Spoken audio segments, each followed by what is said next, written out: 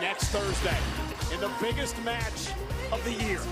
Roman Reigns versus Brock Lesnar for the Universal Championship at Crown Jewel. Special start time, 12 noon Eastern, exclusively on Peacock.